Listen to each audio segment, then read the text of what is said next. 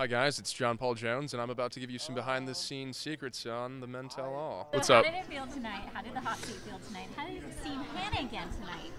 Yeah, um, so the hot seat was sort of a pleasant surprise. Was not expecting that. I was on the show for about 60 seconds cumulatively, um, and uh, it was great to see Hannah. You know, she she has a lot of positive energy, and uh, you know, it's, it's it's always a pleasant surprise when she walks through the doors for sure. It looks like you guys like secured a newfound friendship with each other. Is that true? Yeah, I think it's fair to say that, you know, I, I think, you know, they also didn't air this, so Hannah actually called me brother after the first rose ceremony, and I knew, like, right away, like, oh crap, I just got friend zoned, so. Uh, I- I'd say it sort of developed before that a little bit, you know. Hey, but if not Uh. friend.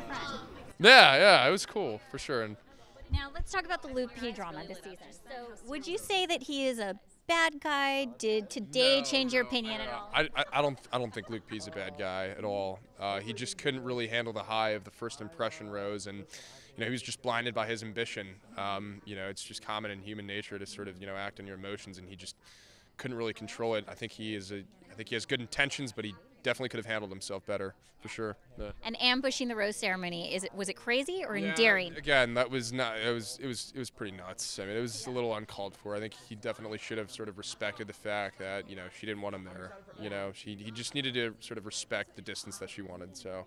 What were the guys like talking about backstage when all of that was going down? When he was talking to Chris Harrison about the whole like sex conversation? Were you guys just shaking your head backstage?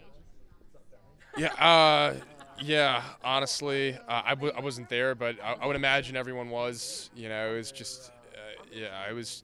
I, yeah. It was. Yeah. It was. Was kind of tough to watch. Uh, you know, him sort of get grilled at the stake. Um, you know, but you know, he sort of did it to himself, and you know, again, the show will be sort of avail- you know, viewable for the next 20 years, right? You can go back on Amazon Prime and rent season 16.